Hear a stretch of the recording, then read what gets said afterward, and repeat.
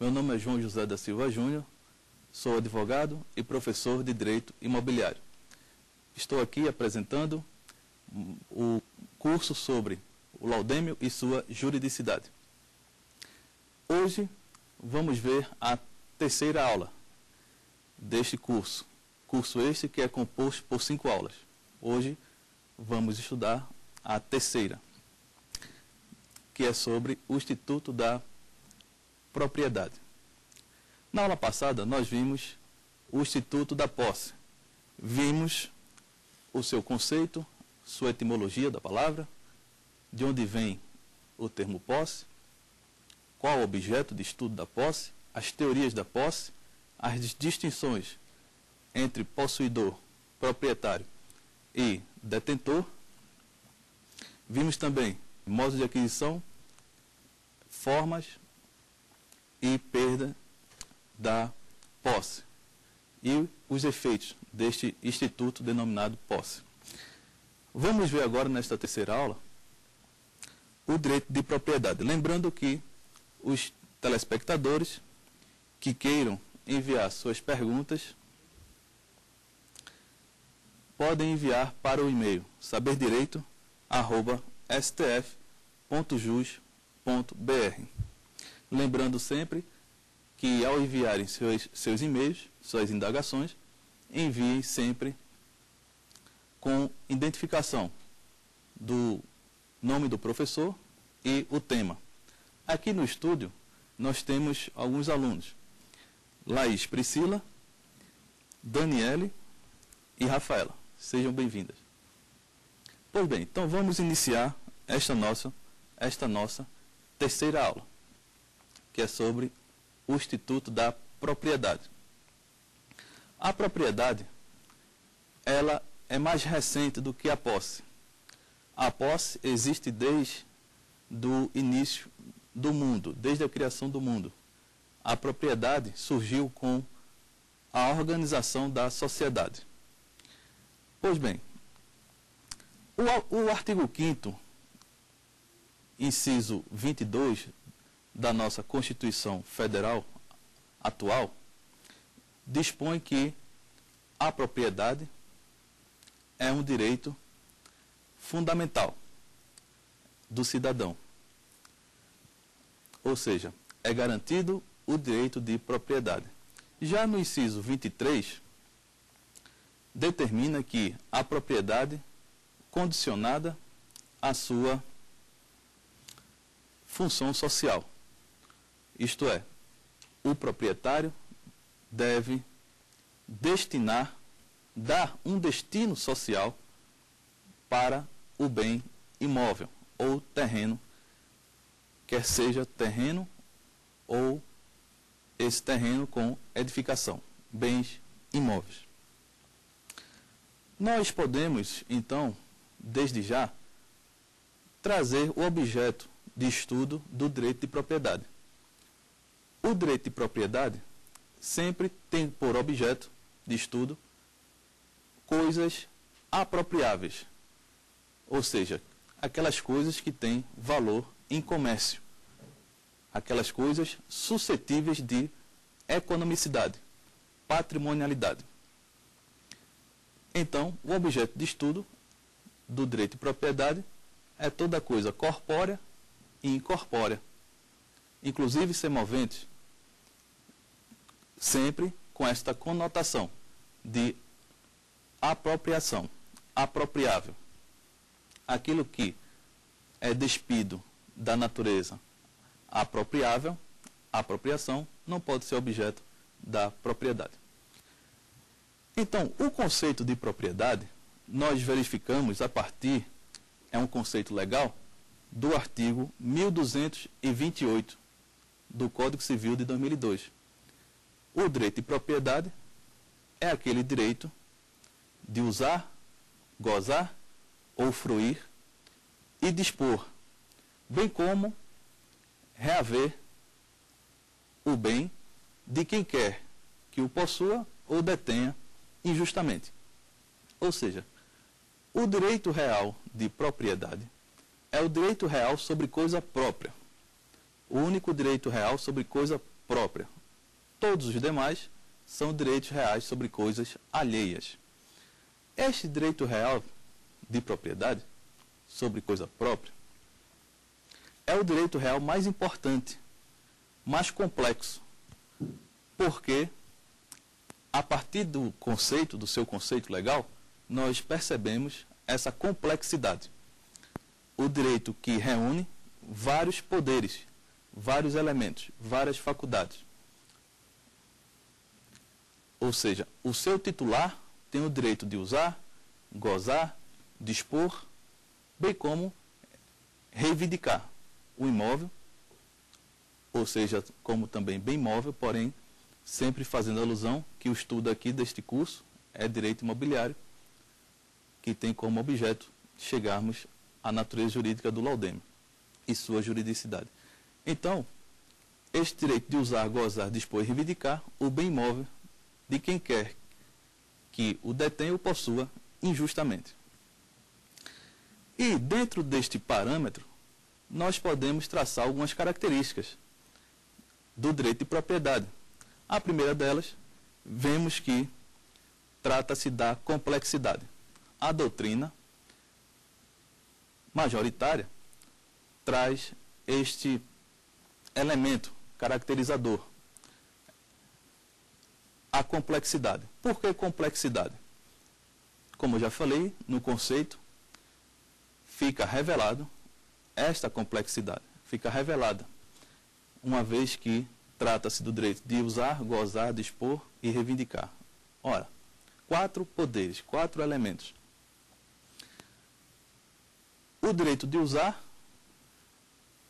é, pode ser colocado de várias formas. Né? O uso pode ser tanto positivo como negativo. Dormir na coisa, guardar o carro nesta coisa, no, no imóvel. Enfim, inclusive usar negativamente, que é guardando aquele bem. Já o direito de gozar, né, o gozo, fruir, este direito corresponde em tirar as utilidades do imóvel, como, por exemplo, alugar o imóvel, né? emprestar, isto é, fazer com que o imóvel ganhe um aspecto de facilitação econômica para o seu titular, facilitação de oferir renda através dele, deste imóvel. Já o direito de dispor, o poder de disposição, corresponde ao direito mais importante da propriedade. Isto é, é aquele direito que vai dar a garantia ao proprietário de renunciar o bem, se abdicar daquele bem e até destruir, porque se ele é o proprietário, nada impede que ele faça isto. E o último elemento que é a reivindicação. Esta reivindicação traz a sequela, ou seja, o direito de propriedade, o seu titular pode perseguir, pode reaver, reivindicar, exigir a sua retomada de quem quer que o detenha ou possua. No caso, bem, né? Quiser, quem quer que detenha ou possua injustamente esse bem, pode ser recuperado pelo titular. Pois bem, uma segunda característica é do direito da propriedade é que ele tem a conotação de direito absoluto. Este direito absoluto corresponde dizer que o proprietário pode utilizar o bem como queira, como bem quiser. Porém, a partir da Constituição de 1988, o direito de propriedade recebeu uma relativização. Este absolutismo poderia-se poderia -se falar não mais em absolutismo, mas em um direito pleno, mas nunca em absolutismo. Uma, uma vez que a nossa atual Carta Magna exige do proprietário a destinação social daquele imóvel. Então, não existe mais este conceito de absolutismo, né? e sim de plenitude. Pois bem, havendo uma não destinação social deste bem imóvel, pode o proprietário ser sancionado, pode ser punido através da chamada desapropriação.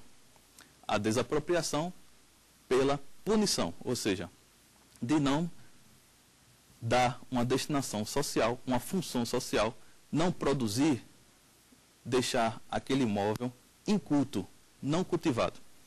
Então pode haver, pode chegar a ser tomado pelo poder público daquele proprietário.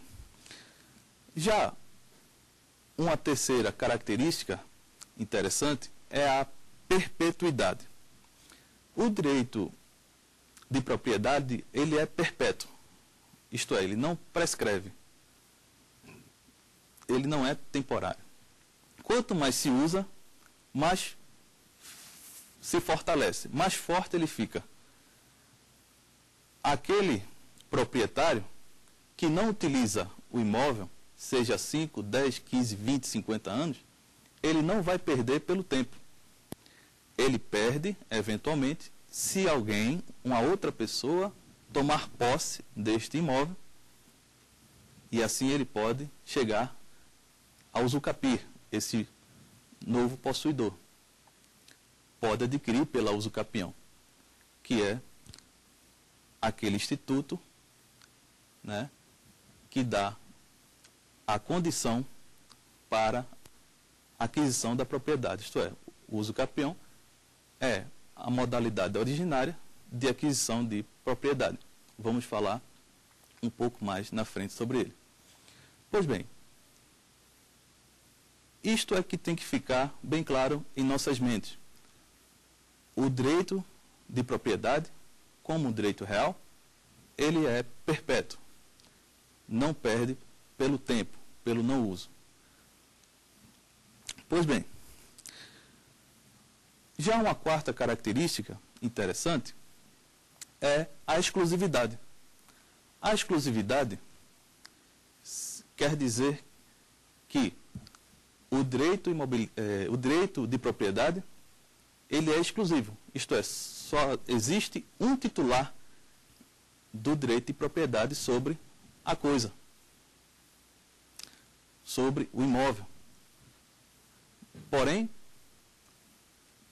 a título de exceção, nós sabemos que existe o condomínio, que é o concurso, a existência de mais de um sujeito com o mesmo domínio, mais de um dono da mesma coisa. Então, um casal que compra um imóvel, eles são, serão comunheiros, condôminos, com proprietários. Pois bem, nós percebemos uma quinta característica, que é a elasticidade. O direito de propriedade, ele permite a sua elasticidade, o seu desmembramento. Uma vez que existe é, um conjunto de poderes e elementos que o compõem. A partir do conceito, nós percebemos isso: direito de usar, gozar, dispor e reivindicar. Os três primeiros, usar, gozar e dispor, ele pode ser desmembrado. Como assim, professor? Vamos ver o exemplo de o proprietário que dar a coisa, ou que der a coisa em usufruto. Usufruto é um outro direito real, que significa usar e fruir da coisa. Este proprietário, ficará apenas, dentre os três elementos, direito de usar, gozar e dispor, ficará apenas com o dispor, com a disposição, que é o poder de alienar, destruir a coisa, etc. Já o uso frutuário, quem recebeu esta coisa, para usar e gozar dela, terá apenas o, esses dois primeiros elementos, uso e gozo. Portanto, percebamos aí as, os, esse desmembramento, este parcelamento dos poderes que estavam apenas sobre o titular do, da propriedade e com o usufruto passa a ser parcelado, passa a ser desmembrado. E os outros dois, uso e gozo, para uma outra pessoa, que seria o usufrutuário. Bem, nós temos os sujeitos, sujeitos da, do direito de propriedade. O sujeito é, ativo, fácil de notar que o sujeito ativo é o titular do direito de propriedade, aquele que tem o seu nome registrado no cartório. Este é o proprietário, é o dono da coisa. Já o sujeito passivo é toda a sociedade, isto é, é um sujeito indeterminado. Todos devem respeito à minha propriedade. Todos devem respeito, têm que respeitar o meu direito de propriedade. O direito de propriedade sobre a minha coisa, sobre o meu apartamento, enfim. Pois bem, nosso estudo de hoje acerca do direito de propriedade exige o conhecimento acerca de suas espécies. Quais as espécies né, da, do direito de propriedade? A propriedade ela pode ser de duas espécies: plena ou ilimitada, ou apenas limitada. A propriedade é plena quando todos os poderes estão reunidos na pessoa do titular, do proprietário. Que poderes são esses? Novamente, o direito de uso, gozo, disposição, esses três primeiros, quando estão reunidos numa só pessoa, do titular. A propriedade disse que é plena ou ilimitada. Se diz plena ou limitada? Ilimitada, né? Já a propriedade limitada é quando o titular vê, vê-se despido de um desses elementos, seja o uso, seja o gozo, inclusive a disposição. A título de exemplo, eu posso ter um imóvel e, através de um contrato de consignação, entregar este imóvel a uma outra pessoa para que esta outra pessoa o venda. Ou seja, o contrato que eu fiz com essa pessoa por consignação é tão somente para que ela venda o meu imóvel. Ele não pode usar nem gozar. Estes dois elementos permanecem comigo, proprietário do bem, objeto da venda objeto do contrato de consignação. Mas aquele consignatário, ele tem este bem apenas para vender. Se não vender, restitui ao proprietário. Então, houve aí um parcelamento. A minha propriedade ficou limitada. Não havendo a venda, ou no outro exemplo, Findando-se o usufruto, a propriedade deixa de estar elástica, parcelada, desmembrada e volta como se fosse uma sanfona. Ela fica parcelada, fica larga e se contrai, ou seja, volta para a pessoa do titular. Então, este consignatário, por força do contrato de consignação, não conseguiu vender o meu imóvel, eu só tinha apenas dois elementos da propriedade, passo a reunir os três quando ele me restitui. Direito de usar, gozar, dispor, a disposição retorna para mim. Isso acontece muito com banca de revista. Né? O, o, o dono da banca fica com algumas revistas, né? recebe revista para vender. Ele não pode usar nem, nem gozar. Não pode fazer nada além de vender. Se não vende, restitui ao dono. Isto trata-se revista de bem imóvel, mas só para ilustrar melhor o nosso exemplo né, do parcelamento, propriedade limitada. Portanto, a propriedade pode ser de duas espécies, plena lim, ou limitada. Plena, quando reúne os três elementos, e limitada, quando reúne um ou dois é, apenas dos poderes da propriedade. Pois bem, nós seguimos com os modos de aquisição da propriedade. Existem dois modos de aquisição da propriedade: um originário e o outro derivado. O originário se adquire de forma é, primária, ou seja, aquela coisa que o titular recebeu, o titular do direito de propriedade recebeu por si só, digamos assim, prescindindo de uma transferência de uma pessoa para outra. Né? Então, a título de exemplo, podemos citar o, alguém que invade uma casa, porque aquela casa foi abandonada, e ali permanece. Com o passar do tempo, ele pode vir a, ver, a ter convalescida aquela posse de injusta pela clandestinidade, pode passar a ser justa e adquirir pela uso capião. Então, ele não está recebendo de ninguém. Ele está recebendo uma coisa de forma originária. Não houve derivação, não houve transferência de uma pessoa para outra. Aquela coisa já teve dono e não tem mais. Em latim, nós podemos chamar isso de res derelicta.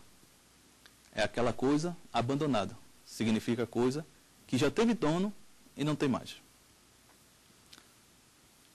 Já a, a modalidade uma outra modalidade de aquisição da propriedade é o modo origina, é, derivado. Pela modalidade derivada, sempre haverá a transferência de uma pessoa para outra. Ou seja, através de uma compra e venda, por exemplo, a, a transferência de uma pessoa para outra, através de uma doação, enfim, são formas de derivação. E esta aquisição se dará pela modalidade derivada. Existem algumas formas de aquisição da propriedade. Essas formas de aquisição nós percebemos no nosso Código Civil. A primeira delas é a uso capião. A aquisição pela, da propriedade pela uso capião. Eu, eu falo pela porque uso capião é um termo feminino, né? Em seu gênero, ela é feminina. Pois bem, a uso capião é uma das formas de aquisição, como eu já falei, da propriedade, e consiste numa das modalidades originárias de aquisição da propriedade, pela posse prolongada e demais requisitos previstos em lei. Existem várias espécies de uso capião. Né? Não vamos aqui nos aprofundar no estudo de cada uma delas, mas podemos citar essas espécies Existe o uso capião extraordinário, a uso capião extraordinária, melhor dizendo, né? Essa independe de justo título e boa fé, isto é, este invasor, né, o ladrão que invade uma casa, pode adquirir a uso, por meio do uso capião, da uso capião, porque não necessita de boa fé. Claro que existe um prazo para isso. A uso capião extraordinária. Já a uso capião ordinária, esta exige, exige justo título. Mas o que seria um justo título? Justo título é um documento aparentemente hábil para transferência de domínio. Como, por exemplo, o contrato de compra e venda, um recibo de quitação, são documentos que podem ser utilizados para comprovar a aquisição do domínio. Portanto, justo título é aquele documento aparentemente hábil para transferência de domínio. Uma outra modalidade ou outra espécie de uso capião é, uso é a uso capião é, especial. Este, esta espécie de uso capião diz respeito a dois tipos de imóveis.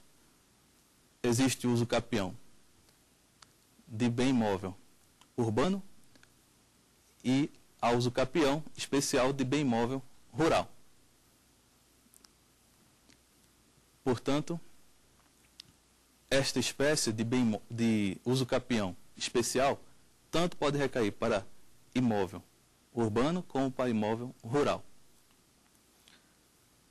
Existe uma outra espécie de uso capião, que é o uso capião documental, segundo a doutrina. A doutrina denomina esta espécie de documental. É aquele uso capião que decorre de um título que foi um dia registrado, mas que perdeu, por alguma razão, o seu valor. Isto é, o possuidor, né, o possuidor do imóvel e proprietário, mas vamos falar agora da posse, porque através da posse é que se adquire a uso capião, a, a propriedade pela uso capião, este possuidor, ele vê-se numa situação difícil, porque tem seu nome registrado, mas esse registro foi impugnado, perdeu seu valor por alguma razão. Todavia, ele pode comprovar que tem um tempo já no seu imóvel, já mora há alguns anos, existe um prazo para isso, e que houve o registro, ou seja, esse registro foi feito comprovando que ele comprou o imóvel. Adquiriu de forma onerosa, a onerosidade também é um requisito para esse uso capião documental. Adquirir de forma onerosa e ter um título que não tem mais a validade por alguma razão. Comprovando isto, este possuidor pode adquirir a propriedade ou readquirir por esta espécie de usucapião denominada pela doutrina de documental. Já uma outra espécie de usucapião, espécie esta nova no nosso ordenamento, foi inserido no nosso Código Civil de 2002, ainda este ano, do meio do ano para cá, é uma novidade, é o chamado uso capião por abandono do lar. Esta espécie de uso capião consiste naquele caso em que, havendo uma separação, seja de fato ou de direito, isto é, divórcio, né? Hoje já não mais existe a separação judicial. Mas havendo a separação, de fato, apenas já dar condições para isso. Então, o, o casal, quando adquire onerosamente um bem na constância do casamento, via de regra, isto depende também da, do regime de comunhão que foi adotado, mas de regra, tudo que foi adquirido na constância do casamento deve ficar para os dois, isto é, é repartido para os dois. Então, o imóvel que foi adquirido na constância, na vigência da, da comunhão, este imóvel pode ser adquirido por um só dos consortes, um só dos cônjuges. Como? Havendo uma separação, que pode ser inclusive e apenas de fato, um deles, um desses consortes, um desses cônjuges, abandona o seu lar. E o abandono do lar, vale ressaltar, que configura-se numa das hipóteses ensejadoras da separação. Um desses cônjuges abandonando o lar e o que ficou no lar, né, o que permaneceu, passando-se dois anos deste ato de abandono, o que permaneceu pode usucapir, ou seja, a metade que era daquele outro cônjuge, uma vez que esse imóvel foi adquirido na constância do casamento, esta metade, que era do outro cônjuge, vem a ser consolidada para um só, que é aquele que permaneceu no imóvel. Esta espécie de usucapião, como eu já falei, é uma novidade e não existe ainda decisões é, é, é, acerca da matéria, ainda não há é, autores que escre escrevessem sobre isso, mas a repercussão é muito grande. E com toda certeza nós iremos ter muitas decisões disciplinando e interpretando esta questão, esta espécie de uso capião. Portanto, a uso capião, como eu falei no início, é uma das formas de aquisição da propriedade. Uma modalidade originária de adquirir, porque não se está adquirindo de ninguém, está adquirindo por si só. Com o passar do tempo, tendo posse e outros requisitos previstos em lei. A sentença neste processo de uso capião é meramente declaratória. Isto é, não se está aqui, através do uso capião, constituindo direito. Estar-se-á eminentemente é, declarando, reconhecendo um direito. Ou seja, o possuidor que reúne todos os elementos, como eu já falei, todos os requisitos, um deles, posse, tempo da posse e outros requisitos legais, reunido todos eles, já constituirá o seu direito à propriedade. E essa sentença vale como título translativo, ou seja, título a ser registrado no cartório de registro de imóveis para transferir para o seu nome a titularidade daquele imóvel. O seu nome que eu falo, do uso capiente, do requerente ao uso, ao uso capião. Pois bem, uma outra forma de aquisição da propriedade é pelo registro do título. Vejam só, a usucapião não dá o direito à propriedade quando registrada a sentença. Não. A sentença, como já falei, é mera declaração. A propriedade já está consolidada, já está verificada. O registro do título é somente o exaurimento da formalidade. Ele serve para dar publicidade aquele ato.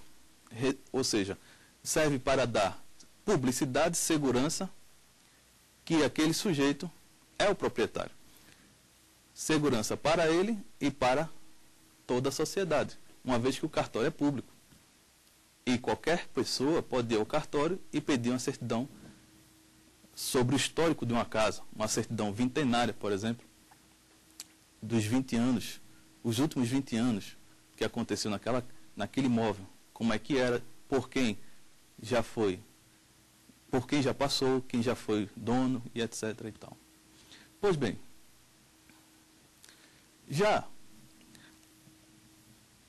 a aquisição pelo registro do título é aquela aquisição que se dá no caso de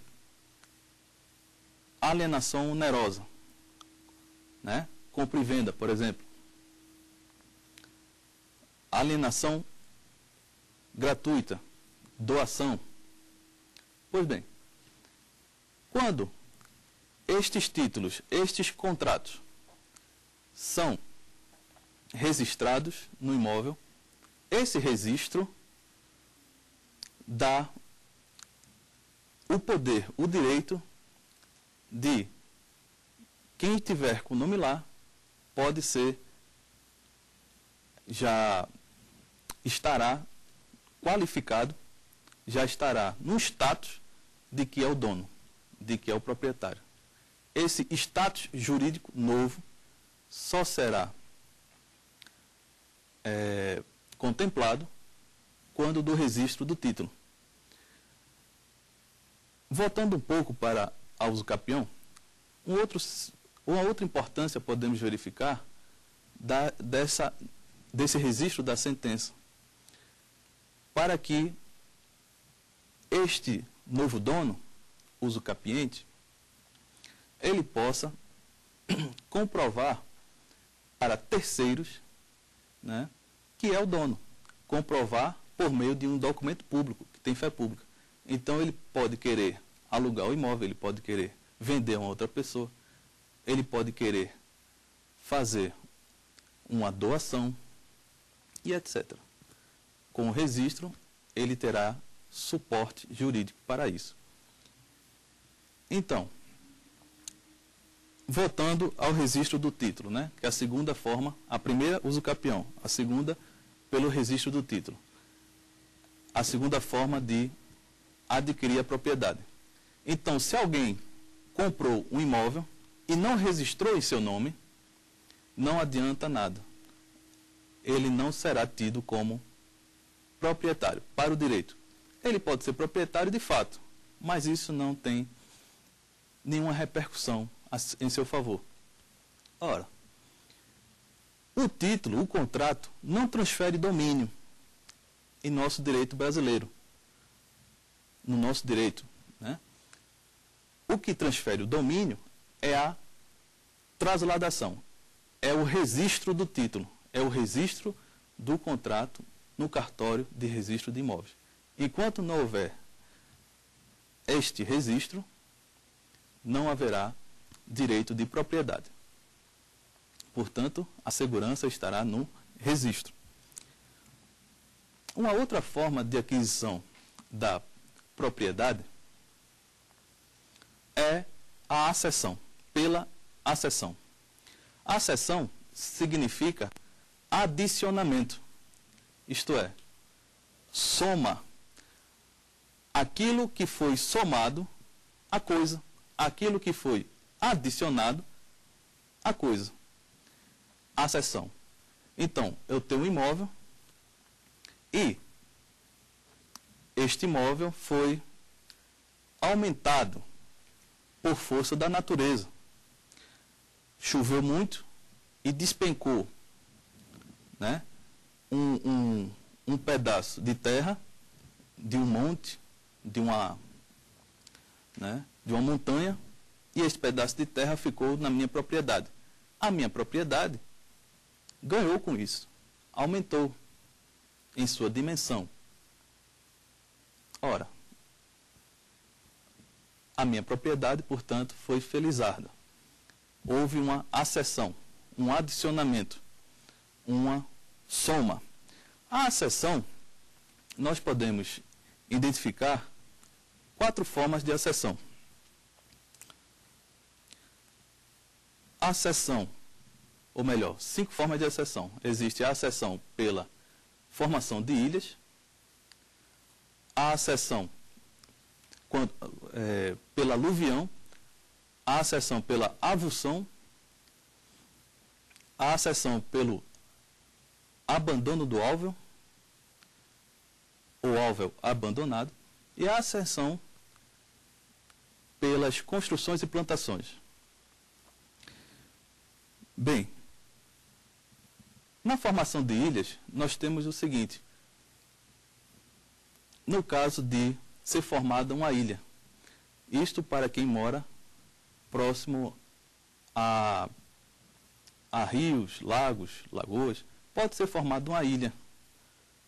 E esta ilha, vindo a juntar-se à sua propriedade, você ganha aquela aquele adicionamento, formação de ilhas, ou seja, uma acessão natural. Aluvião. Aluvião é a acessão que se dá pelo transporte da terra de forma natural, de um lugar para outro. Então, através dos ventos, é, uma transferência aí é, singela, sem violência. Com o passar do tempo, pode acontecer, isso acontece muito para quem mora perto do litoral. A, o vento vai levando a terra e com o passar do tempo pode acontecer do seu imóvel ser contemplado, ser beneficiado pela, pela soma, pelo aumento de terra.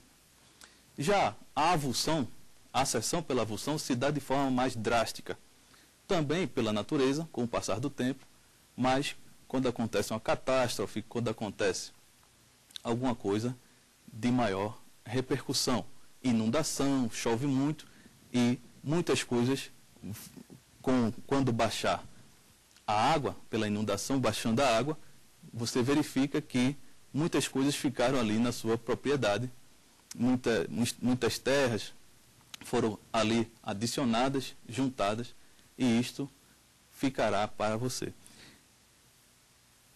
Já a, a sessão pelo alvo abandonado, o álveo é aquele, aquele braço de água né, do rio, da lagoa, etc. Com o passar do tempo, pode ser que aquele braço de água, aquele braço do rio, venha ficar seco.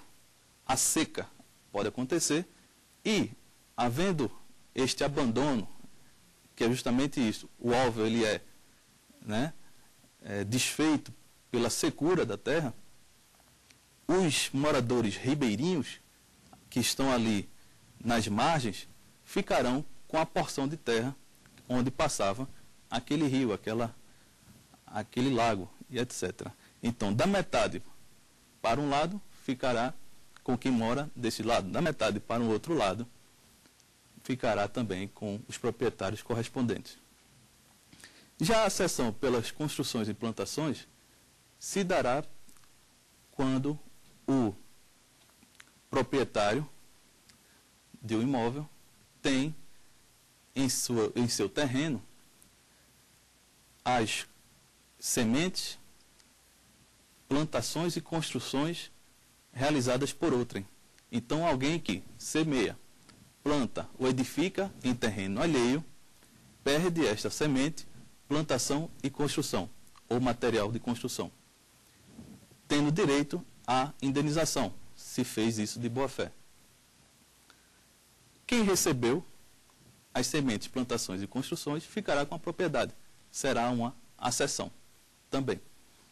Pois bem, essas são as formas de aquisição da propriedade. Uso capião pelo registro do título e pela acessão. Eu pergunto aos nossos alunos se há alguma pergunta, alguma indagação a ser feita. Professor João, O direito de propriedade é absoluto? Rafaela fez uma pergunta interessantíssima.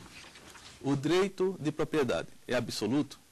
Não, não pode ser absoluto, uma vez que a Constituição Federal de 88 é, condicionou o direito de propriedade a, em sua função social. Isto é, o proprietário tem a obrigação de dar um fim social à sua propriedade, sob pena de sofrer a punição estatal da desapropriação.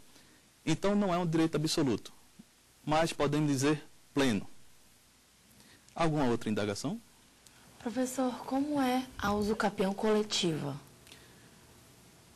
A aluna Laís Priscila também nos traz uma indagação interessantíssima. A usucapião coletiva se dá através da lei do Estatuto das Cidades.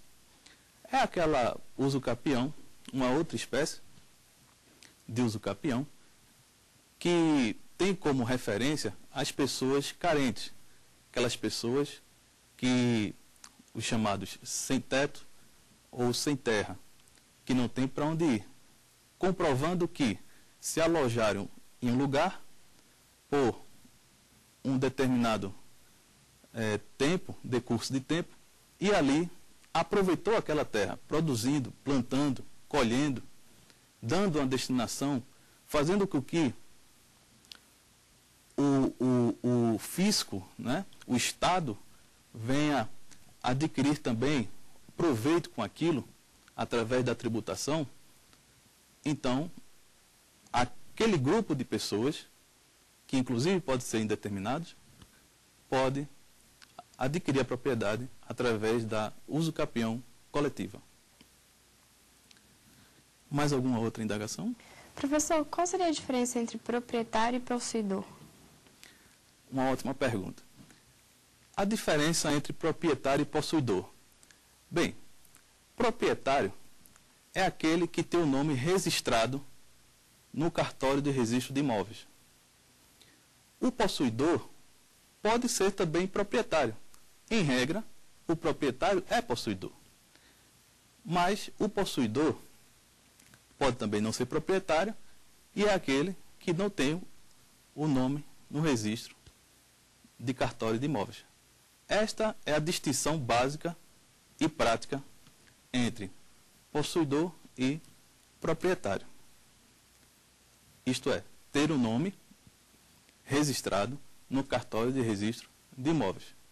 Este ato notarial de registro é que vai dar o direito, vai dar o status, vai dar a qualificação jurídica de que o, quem está com o nome registrado é o, é o proprietário. Isto é importantíssimo para sabermos diferenciar proprietário, possuidor e detentor. Uma vez que alguns direitos são inerentes apenas ao possuidor, outros apenas ao proprietário e outros, ou melhor dizendo, nenhum direito é deferido ao detentor. Como, por exemplo, nós podemos citar as ações possessórias. O proprietário, ele pode utilizar também as ações possessórias, quando ele quiser discutir posse. Isto dá alguns efeitos em sua, em sua privacidade. Já o possuidor, ele não pode utilizar a ação de domínio, que é a reivindicatória, somente as possessórias. A ação possessória é uma ação mais célere, por isso que o proprietário pode se utilizar, utilizar delas. Né? Portanto, com essas considerações sobre o direito de propriedade, chegamos até o final da nossa terceira aula. Nesta terceira aula, vimos o conceito de propriedade, as características, os efeitos, as as, os modos de aquisição da propriedade, as formas de aquisição também da propriedade. Bem, chegamos ao final da nossa terceira aula sobre o direito de propriedade. Para quem quiser enviar suas perguntas, suas indagações, é só enviar através do e-mail saberdireito@stf.jus.br. E quem quiser rever as aulas, é só acessar www.youtube.com.br saberdireitoaula. Convido a todos para assistir aos próximos programas da família Saber Direito. É só acessar o www.youtube.com.br Saber Direito Responde e Saber Direito Debate. Muito obrigado a todos e até a próxima.